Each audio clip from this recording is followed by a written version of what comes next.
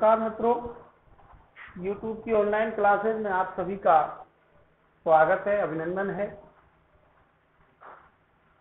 मैं नरेश कुमार, आप सबके बीच पुनः उपस्थित हूँ हिंदी की क्लासों को लेकर के और हिंदी की जो कक्षाएँ हैं, वो नियमित रूप से अपनी जारी हैं।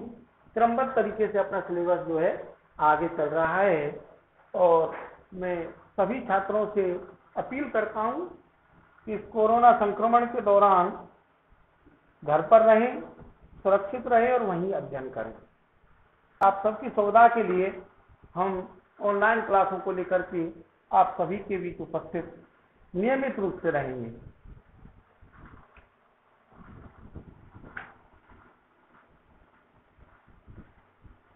पिछली कक्षा में हमने जो पाठ पढ़ा था वो ऋतुराज पढ़ा था कन्यादान। कन्यादान पढ़ा था ऋतुराज का। मैं समझता हूँ अच्छे से आपको समझ में आ गया होगा। दो पार्टों में उसकी वीडियो थी। पीछे से सिलेबस दोस्तों इसलिए स्टार्ट किया कि आगे से जो सिलेबस है वो कुछ हट सकता है। इसलिए अपनी मेहनत जो है व्यर्थ नहीं जाए। इस कारण से सिलेबस को मैं पीछे से स्टार्ट कर रहा हूँ। तो आज जो है हम पढ़ेंगे नागार्जुन के बारे में। नागार्जुन। नागार्जुन की दो कविताएँ अपने सिलेबस में हैं। एक है कल और आज। इसमें दोस्तों ग्रीष्म के बाद वर्षा ऋतु का वर्णन है। वर्षा ऋतु। आज जो है, वर्षा ऋतु का द्योतक है और कल जो है, ग्रीष्म का द्योतक है। ठीक है? दूसरी जो अपने इसमें नागार्जुन की जो कविता है, एक लघु कविता है, कौन सी? ऊषा की लाली।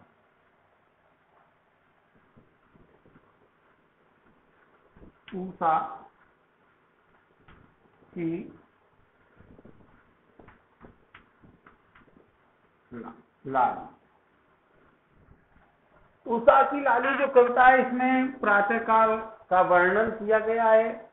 उषा का मतलब क्या होता है? सूर्य उदय से पूर्व की जो स्थिति होती है, जब आकाश में लालमा से युक्त होता है, जहाँ से सूर्य निकलता है, उस स्थिति को अपन उषा कहते हैं।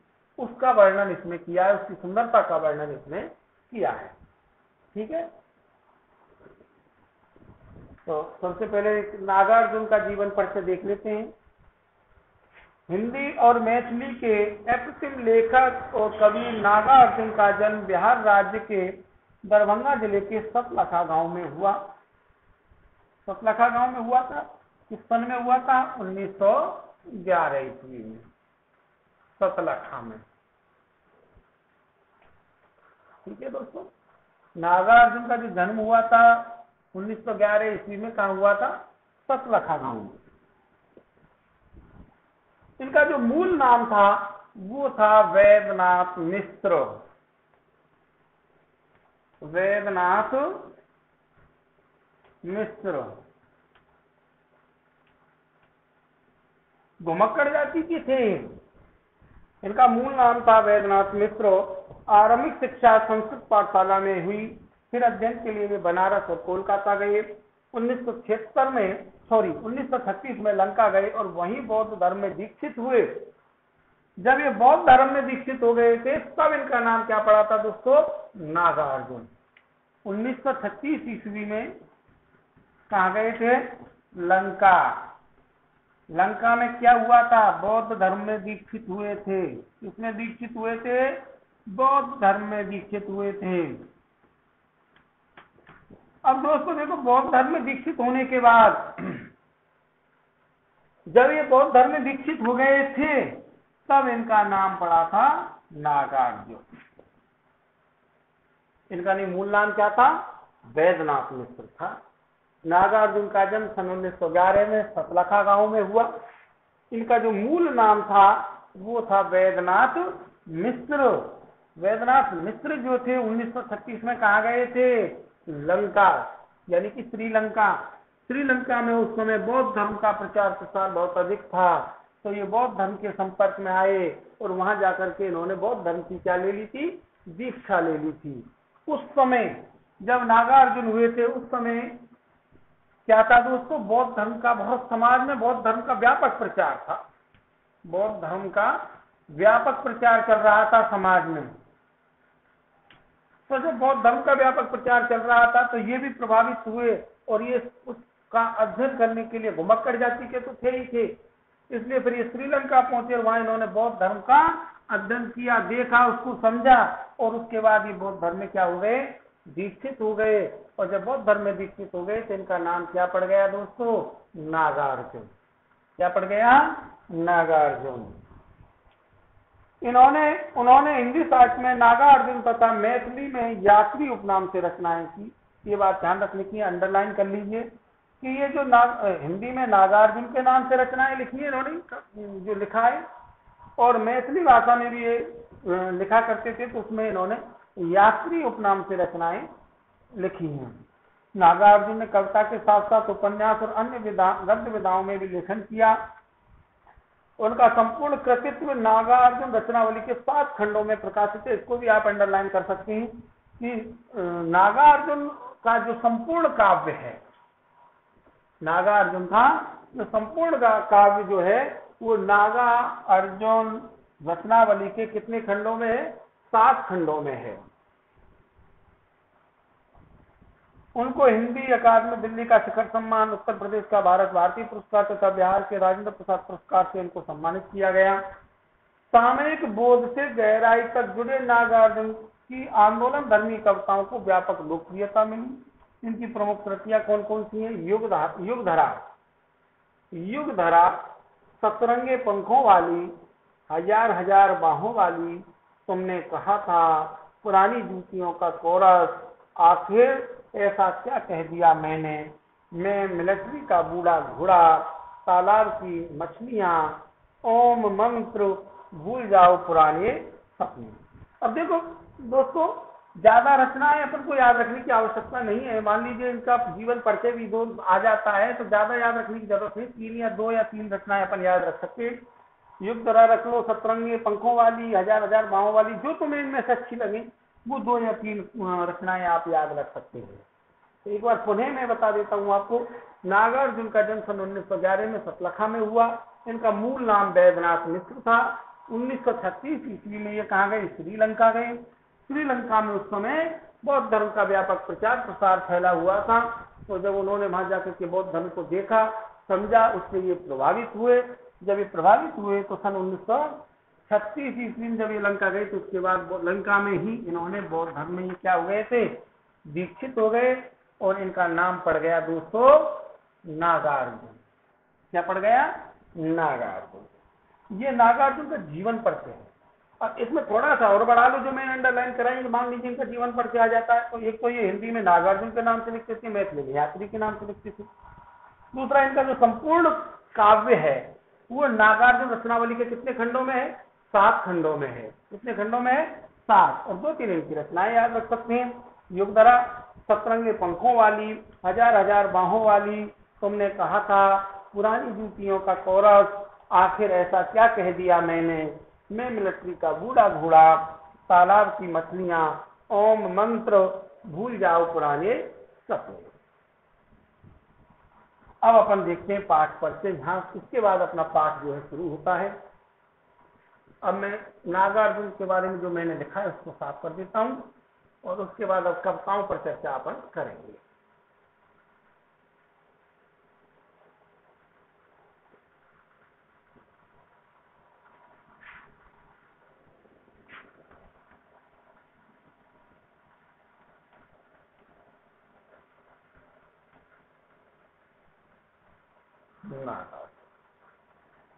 तो दो कविताएँ, कल और आज। कल जो है ग्रीष्म ऋतु का दोतक है, आज वर्षा ऋतु का दोतक है। ग्रीष्म ऋतु के बाद, ग्रीष्म ऋतु में प्रकृति में कैसे प्रकृति जो है कैसे दिखाई देती है, और अचानक ग्रीष्म ऋतु जैसे समाप्त होती वर्षा ऋतु का आगमन हो जाता है तो वर्षा ऋतु के आगमन से प्रकृति में क्या क्या परिवर्तन हो जाते हैं, इन दोनों का सामंजस्य कवि ने बहुत ही मनोरम ढंग से इसका वर्णन कवि ने किया है।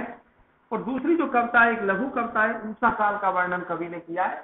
प्रातःकालीन जो सूर्य उदय से पूर्व जो एक लालिमा से युक्त जो वातावरण जो होता है, जो दिखता है हमें सुंदर स्वर्णमयी जो आभा दिखाई देती है, सूर्य के निकलने से पूर्व, उसको अपन उषा कहते हैं और उसी उषा का वर्णन कवि ने किया है। ठीक है? देखते हैं, अब अपना पाठ यहाँ से शुरू होता है। पाठ से देखते हैं पहले। नागार्जुन की कविता कल और आज ग्रीष्म की घोर तपिस भरी दुर्हुता के पश्चात वर्षा ऋतु के सहज और मन भावन आगमन का वर्णन कर कल और आज जो कविता है ग्रीष्म ऋतु की तपिस से प्रकृति झुलसी हुई है, लोग बेहाल हैं जीव जंतु परेशान हैं। गुरुता का मतलब बहुत कठिनता से, के पश्चात वर्षा ऋतु की सहज और मन, और उसके बाद जब वर्षा ऋतु आती है तो हमारे मन को अच्छी लगने वाली होती है। सहज होती है, सबको प्रिय होती है, उसका वर्णन कवि ने यहाँ किया है। कहने का मतलब वही बात है, ग्रीष्म ऋतु के तपिस के कारण जो हमारी प्रकृति थी, उसका जो हाल था वो बेहाल था, किसान परेशान था। जो प्रकृति में जो हरियाली होती है, वो सब झुलसी हुई थी, सूखी थी। खेतों की जो मिट्टी है, वो पत्थर की सी बन गई कठोर हो गई थी। और उसके बाद जब अचानक वर्षा ऋतु आती है तो प्रकृति में क्या क्या परिवर्तन होते हैं? और जो परिवर्तन होते हैं, वो हमारे मन को कितने सहज, सरल और आनंद प्रदान करने वाले होते हैं, इसका वर्णन कवि ने किया है। ग्रीष्म ऋतु के हताश एवं उदास मुख कृषक धूल स्नान करते पक्षी व्रंग। भाई, यही तो ग्रीष्म ऋतु का वर्णन है। ग्रीष्म ऋतु में क्या होता है कि हताश और उदास मुख कृषक कृषक किसान जो होता है वो उदास होता है। धूल स्नान करते पक्षियों को कुछ और थोड़ी मिलता है। जब वर्षा नहीं होती है तो मिट्टी कैसी हो जाती है? धूसर हो जाती है। धूल में नहाए हुए होते हैं पक्षी। सूखे खेतों का वीराना, उजाड़पन और बदरंग आसमान आसमान भी हमको सुंदर दिखाई नहीं देता है। एक और समाज के सोपान पर छूटे हुए अंतिम आदमी का प्रतिनिधित्व करता है। वहीं दूसरी ओर प्रकृतिगण चित्रण की सहजता को भी दर्शाता है। वर्षा ऋतु का आगमन परिवर्तन का संकेत है। ये भी एक इंपोर्टेंट बात है। ये जो कविता है, इसका मूल विषय क्या है? परिवर्तन की ओर संकेत करती है। कि प्रकृति में जिस प्रकार परिवर्तन होता है तो आम आम जो उपादान है समाज में, उनमें भी परिवर्तन समय के साथ निश्चित रूप से होता है।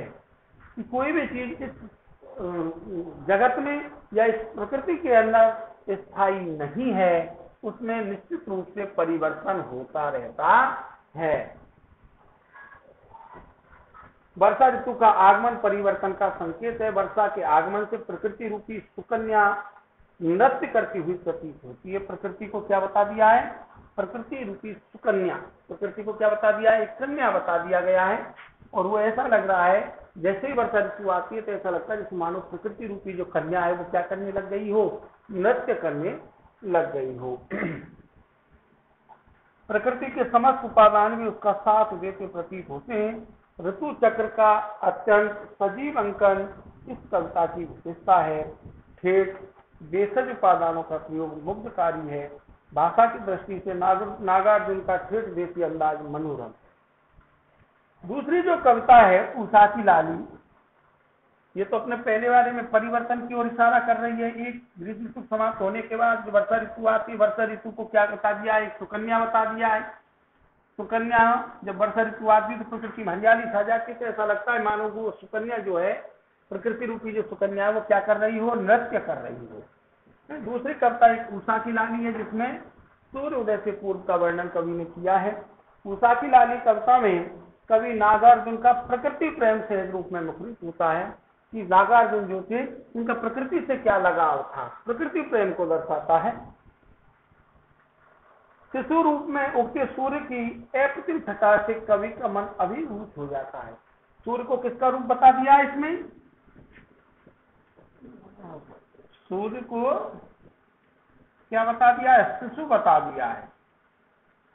क्या बता दिया है? शिशु का रूप दे दिया गया है।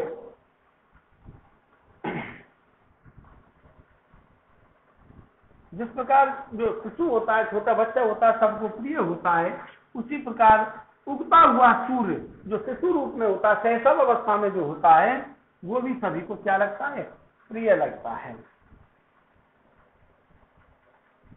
तथा उदय होते सूर्य की केसरी आवासे, जो कि हिमगिरी के स्वर्ण जो शिखर का आभास दे रही हैं। हिमालय की जो ऊँची ऊँची चोटियाँ हैं, वो जब कैसे दिखाई देती जब सूर्य उदय होता है तो हिमालय की जो ऊँची ऊँची चोटियाँ हैं, वो हमको कैसे दिखाई देती है? स्वर्णमयी दिखाई देती है। कैसे दिखाई देती है? स्वर्णमयी सोने के समान जैसे चमकती हुई दिखाई देती है तो उसका आभास हमको ये कराता है। इस, और फिर कवि को एक बहस की सुंदरता को देखकर कवि ये कहता है कि कहीं ऐसा नहीं हो कि ये सुंदरता मेरी आँखों के सामने से हट जाए। तो इसलिए कवि सुंदरता को एक तक दृष्टि से देखता रहता है अपलक रूप से देखता रहता है। ठीक है दोस्तों, धन्यवाद।